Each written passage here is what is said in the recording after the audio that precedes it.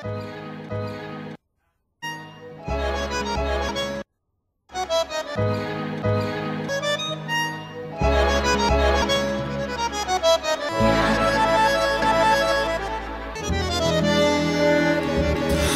bare sten og sidder på Mikkel. Café kigger ned i Vincents suppe Som jeg ved kokken er pisset i. Retter mig op, mens verden glider forbi.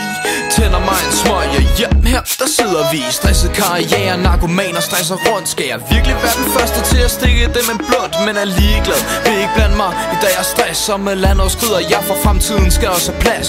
Rejser mig og går hen mod springvandet Hvor ingen langer slangen, der er halvdækket af vandet. Skal bare lige se om kampen har udviklet sig For ikke noget tage mig til. Sidder bare her og keder mig. Har et ambivalent syn på livet Gider, men gider ikke. Sandheden er ikke overgår at give slip. Egentlig et dejligt tår, men hey, hvor kom vi fra? Hvad sker der for Vincents tær? Han koger bare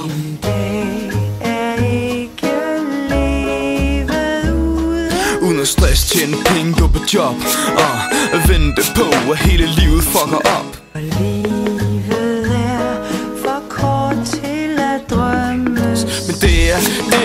det, valgt at gøre Og jeg er fucking ligeglad med at blive andet end amatør. Sidder på Café Mikkel for at stress forbi. Nipper til min suppe, nynner til en melodi. Ved ikke hvad der er i, men det går jo nok. Rør mig ikke, det er en rimelig bizarre kok.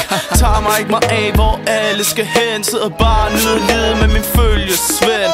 Skovsen hvor fritter ender med at betale igen Men er gavmild, selvom jeg aldrig har nogen penge. For tilknytning er ikke vejen. Til lykke Så John, det er en god butter, ryger mig en bønne. Livet der i fængsel kan lige så godt feste For lige så snart jeg er afsonet begynder det næste. Dårligt tager man med det, kører rundt i ring. Så nyd det, gør det bedst og prøv at gøre gode ting.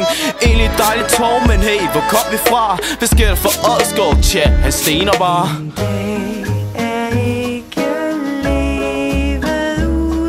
Uden at stress, tjene penge, gå på job Og vente på, at hele livet fucker op.